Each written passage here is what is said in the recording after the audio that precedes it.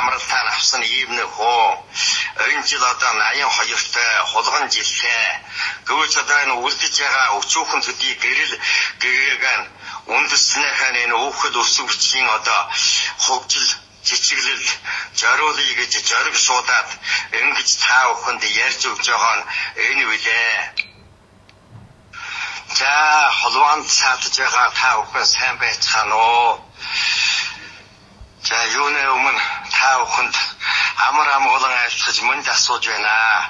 Гэр хотолгоор бүгдээр сайн ажил үйлсээр өндөр амжилттай мал сүрүү тарган тавтай өн сайхан хаваржж байна уу?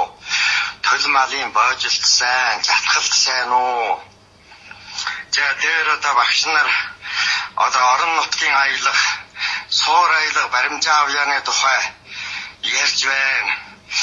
Чухам энэ баримжаа авьяа гэдэг хэрэгтэй идэм үү, хэрэггүй идэм үү? Чухам орон нутгийнхаа аялгаар байвал болдоггүй юм уу гэсэн тухай ярьлаа. За би нэг ховын үжилтээ ярья. Энэ суур аялга баримжаа авъя гэдэг бол энэ хэл бүхэнд бол маш чухал асуудал юм аа. Ийм юм байхгүй болохгүй шүү. Орон нутгийн аялга байж болно. Гэвч олон жилийн хойно энэ орон нутгийн аялга чинь бүр буян даасан тусгай хэл болж салан шүү. За энэ үлгэр жишээ бол манай монгол хэлэнд байгаа. Энэ дагуур гэж байна Ууд нь бол энэ дагуурчуу 50-аад онд одоо аа баруун орноор усаад ажиллаар очсон. За таны нутаг хаан хин бэ? А гэж асуувал а би дагуур Монгол байна гэж хэлдэг. За чигвэл одоо энэ гансуу хөхнүүрээр бол одоо боан, дүншаан, ягуур, монгор гэж байна. Эд чинь бол бүр монгол хэлтэн Монгол үндэстний салбарууд за ингээ сүүлийн үед бол одоо ойрхон болтоор бүр Монгол бичгээр хичээлж байсан.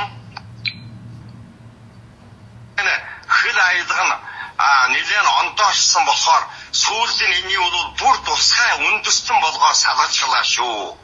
А дагуурч ус асаар нь үндэстэн, боанч ус асаар нь үндэстэн, ягуур асаар нь үндэстэн а Монгол асаар нь үндэстэн, Дүншаан асаар нь үндэстэн ийм болоод салчглаа. Тэгвэл Шинжааны ойрд Монгол. За энэ бол одоо аялга нь бол нэлээд Монголоос нь нэлээд холдож байгаа шүү. За бас энэ нэг тод бичиг гэдэг бичигтэй одоо хэдэн зуун жилийн өмнө заяа бандда намхай жамс гэдэг хүнээ жохоосон ийм нэг бичиг байгаа юм аа.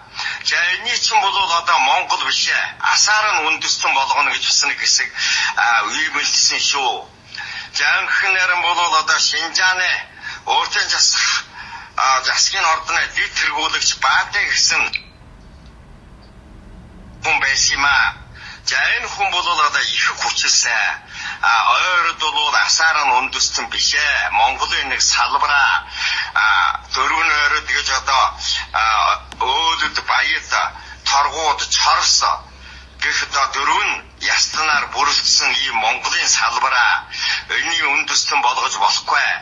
За ингэж яагаад бол энэ бол асаар нь үндэстэн болгосонгүй. А би бид бас одоо ойгуурчин Монгол бичгийн хэрэглэнэ гэж одоо тод бичгийн алхам алхамаар хэрэглэхэн байж одоо сургуулиудад бол бүр манай энэ Монгол бичгээр хичээлдэг боллоо. Ингээд Монгол үндэстнээ дотор үлдлээ шүү.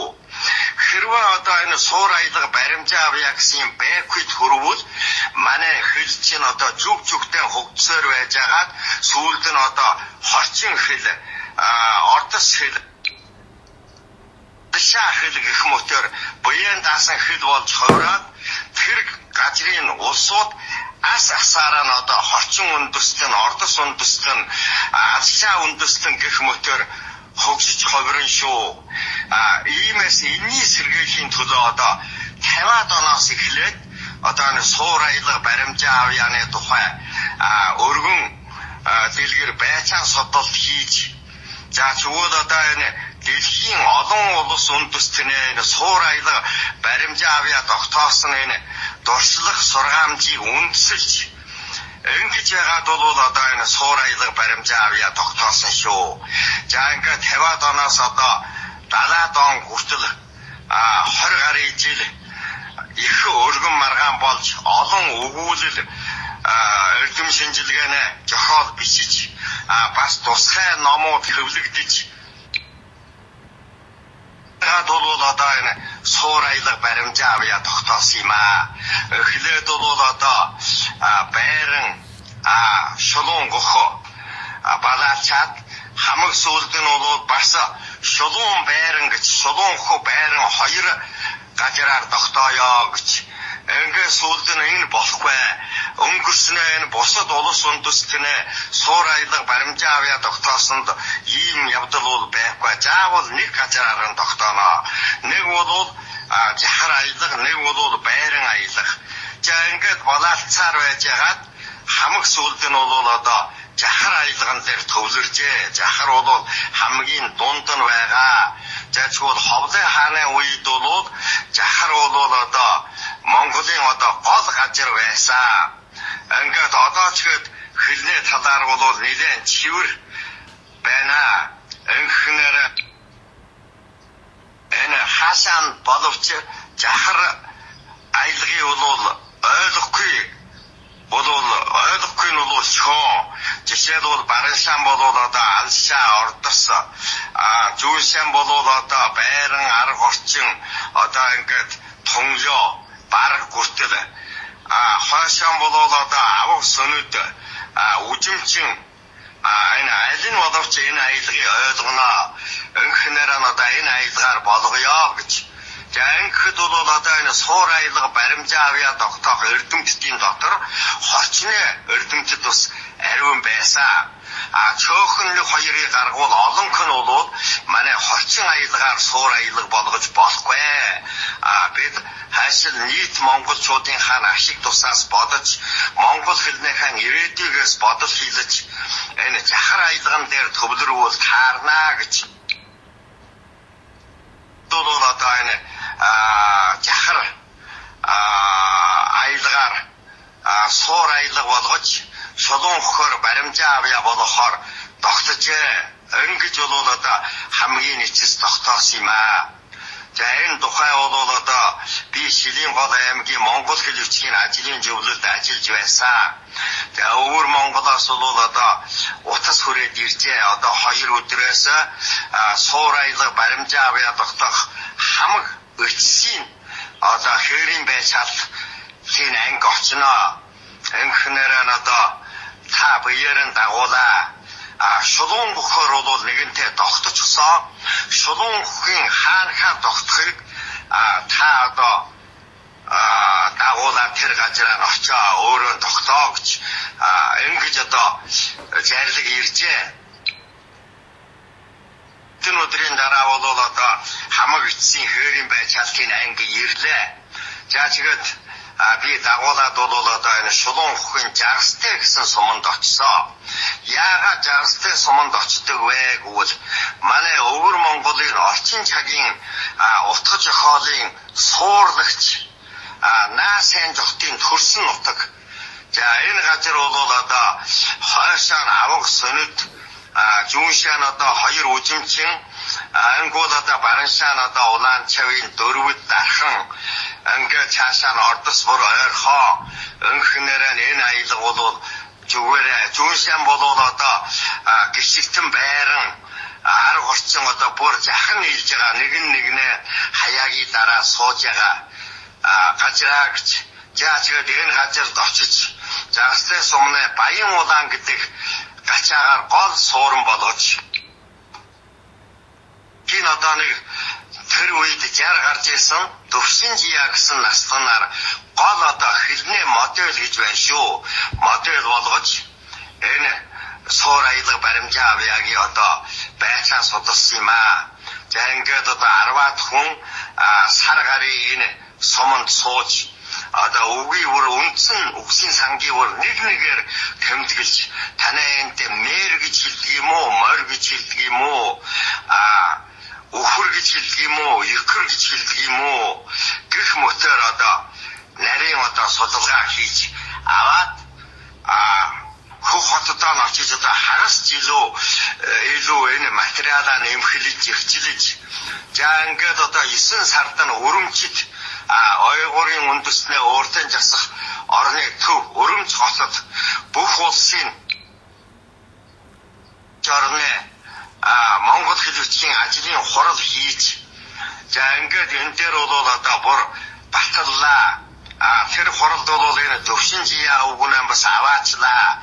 А энэ байшаалтад орж чаагүй олон эрдэмтэд бас энэ хүнтэй нүүртэж захар айлганд зөвхөн яаж ярьдгийг а энэ үгсийг бас дахиж одоо тэмдэглэж хагас сар гарыг болсон тэр хурал?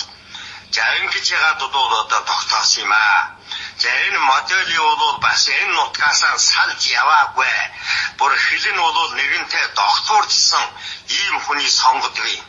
За ингээд бол одоо захар аялгаар баримжаа авъя болгож сулуун өхөр захар аялгаар суур аялга болгож сулуун өхөр баримжаа авъя болгосон энэ явдлыг бол ингэж тогтоогоод дараа нь өвөр Монголын өөртөө засах орны ардын засгийн ордон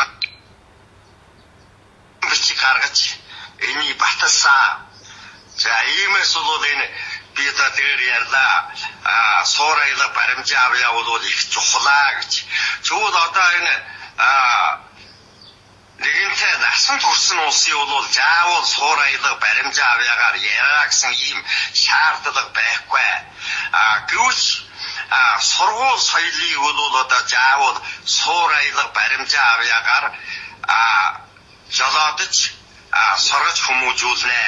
Энэхүү манай монгол хэл бол одоо хүчин их боломжтой. Нэг л аялган дээр төвлөрөөд зүг зүгтээ өнөө олон толгойтой гагц сүлтэй могой хамаг сүүлэн гасаг тэргэнд дайрагдаж ухсан явдал гарахгүй шүү. А нэг толгойтой олон сүлтэй могой бол өчтөн бол одоо амьдрах замаар оллоо гэсэн ийм нэг үлгэр домог байдаг. Ингээд бол одоо оройг баримжаа авъя гэдгийг тогтоож а ийм нэг ажил хийсэн. Энэ нь бол трейлинг чухал ач холбогдолтой. Байсан ч болох байсангүй ч болох явдал огт биш шүү. Ингэнээр бид энээн бол зөв таних хэрэгтэй. А энэ бол бас тэр яг хүн олон газараа тогтоодог явдал биш шүү. А одоо жишээлбэл гятад хэлний суур аялга баримжаа авьяагийн тогтоосон бол одоо Бээжин аялга а тухайн үед бол Бээжин аялга умраатын гятад бол тийм ариун байгаагүй шүү. А гол нь бол одоо далай дагуу өмнөд торноор байсан. А тэгээд яагаад одоо Бээжин аялгаар тогтоосон юм бэ гэвэл Бээжин аялга гэдэг бол гятад хэлний дотор хаашаа яриуч баг бүгдөө нь ойлгоно а яг өмнөдгийн гятад болоод умраатын гятад хоёр бол хоорондоор орчуулагч явна шүү. Бол тийм хэмжээнд хүрээгүй. А бид одоо Шинжааны Монголтойгоо боловч хоёр цаг суугаад ярилцвал бүр ухаанаа нь олцгоно. За энээр барахгүй бид Оросын бураад халимаг туваа ийм хүмүүстэй ярихад мөн одоо нэг хэдийн цаг суувал барыг ухаанаар нь олцох юм. Жишээлбэл бораад аялга бол одоо их онцлогтой а үгийн эцсийн үл дагуурын бол одоо бүр а а өс өсий бол бүр өдөр хэлнэ. Жишээлбэл босгол бодог нь бүсгүүл бүдэг нь а иймэрхүү маягтай ялгаатай манай бусад Монгол аялганаас за тэгвэл одоо с манай одоо өс Гүйгүүлэгчийн бол бүр хаагаар хэлэн хөөгээр хэлэн жишээлбэл саргуул хараг нь усгуул ухаг нь сайнгуул хайнг нь уул хайхан нь за ийм ялгаатай. За ойрод айлгаар авч хэлвэл одоо өхөр гэсний ихэр гэж хэлэн. А орой гэсний асхан гэж хэлэн. Өглөө гэсний өрүүн гэж хэлэн. За иймэрхүү жахан жахан ялгаа байхаас иш манай монгол хэл болов тэгээд нэг нэгнээ хаан үүхэл аялгыг ойлгохгүй юм учир байхгүй. За ингээд одоо бид нэг аялган дээр нэгдээд бүр л одоо нэг өвгдөөдсийн салбарчтай бид ч бүр л одоо алаг махны дасархай алтан ясны гэлтэрхээ өнхнээр нь одоо заавал би өөрийн аялгаараа суур болгоно. Чи өөрийн аялгаараа суур болгоно гэж ингэж балаачгийн хэрэг бол байхгүй шүү. Миний хүн олон таны хүн чөө энхийн учир бол байхгүй. А бүрэлгээ адилхан бүр Монгол. Аль нь одоо нийтэд ашигтай шинжил ухаанд байж хөгжилтэд одоо ашигтай болвол тэрнэр нь болох ёстой. За ингээд бол одоо энэ суур аялга баримжаа авьяагийн бол ингээд тогтоосоо ингээд энэ 79 оны намар одоо өрөмчиж баталж 80 оны ихээр байх уу би бас бодтой цагаан болоод бас жаахан мартаж байна одоо нэгэн жил нэгэн жил өнгөрчихсөн болохоор эмхнэр нь батлаад гаргаснаас хойш өдий жилийн хооронд бол бас их амжилт олсон шүү. А их амжилт олсон. Одоо сургууль соёл бол үндсэндээ манай тунлоо жирмийн ах дүүнэрчгээд маш сайхан монголоор ярих болж шүү. Залуучууд бол одоо өтөлсөн нь бол яах вэ тэр сурсан явдлыг сураар боохын аргагүй гэж одоо тэр аягаар нь ярьж л байна вакцины систем бид одоо энэ аялган дээр нэгцээр манай Монгол хэл хүчин чадал нь нэмэгдэнэ. Харин одоо зүг зүгтээ бутарч ас асаараа нь одоо үүхэлтэй үндэстэн болж хувирхий бол сэргээсэн юм нэг чухал нэг бэхлэлтийн шугам шүү. Энийг бол одоо бид зөв таних хэрэгтэй. Зарим нь бол одоо миний ойлголтоо а ингээд ерөнхий зарчим нь бол ингэж тогтсон юм аа одоо ч бол бид энэ олон холбоо сүлжээн дээр монголчууд бол бүгдөө бүр сайхан ярьж байна. А бид чивэр монголоор ярья. Холимог хэлнээ салъя гэж. Энэ холимог хэл гэдэг бол бас их аимшигтай юм шүү. Энэ хоёр одоо ингээд хоёр юм холигдоод байсаар өрчстэй нэг нь ядаж нэг нь ядагдан шүү. Анхтай бол хүчин чадал их нь ялнаа. Хүчин чадлаар буурай, дорой нэг нь бол ядагдана ингэж холиж яриад байвал одоо эцсийн нэчист бүр төмлийн жамаар явна. А хоёр төмөл бол хотын хоёр төмөл одоо чамын алиаг өөч мэдгүй. Сайн уу мөн дүү мэдгүй ийм болцлоо шүү. А ингээд холиод байвал бид энэ жамаар явна. За тэгвэл манай өмнө бас сайхан жишээ байна. Манч гэдэг одоо юу гэдэг хэдэн зуун жил энэ гятадыг ноёрхсон Монголын ноёрхсон ийм айхтар одоо үндэстэн байлаа. Одоо хаа байна уу? Үг хэл гэж байхгүй, үсэг үсэг гэж байхгүй. Бүгдээрээ сайхан гүйцлээ биш үү? За ингээд энэ олон аялал салварлаад яваад байсаар тус тусын жамаараа хөгжөөж байсаар одоо мангастай адилхан болно шүү. Иймээс бид бол энэ үг хэлэн зүг чивэр сайхан хэлэхээр барахгүй үсэг бичгэн бас сайхан зүг биччихъя. Одоо энэ холбоо сүлжээнд сүлжээн дээр бичиж явах өсөг бичиг бол одоо 10 бичвэл зарим нь 8 нь буруу байна. А нэг бол үг нь буруу, эсвэл дагвар нь буруу. А ачиг нь дутуугүй бол илүү а ачгийг шилб болгох, шилбийг ачиг болгох одоо янз бүрийн буруу байна. Холоо хөвшиг гэдгийг мэдгүй авахгүй а иймэрхүү жилүүд байна. Иймээс одоо бид бүх монголчууд дугуйруул дуу нэгэ, доктор бол хүчин нэгэ нэг л зүгтэн чармайж өөрийн үхэл өсөг бичгэн а үжих нүдлийнхэн жижиг мөт халуун аймаг бүлээн цустайгаа адил хайрлж хамгаалж явчихая гэж би хүсэж байна. За тэгээд бүх Монголын альва үйлс сансан исэн цагаан өсөл сэтгэл чилэн бүтгэх болтугай айл гэр бүхэн аж жаргалтай сайн сайхан. Амьдарч а монголчууд бүхэн утсан асалж удаан жаргаж. А өв нэртэй булхамдал гэдэг бол маш чухал шүү.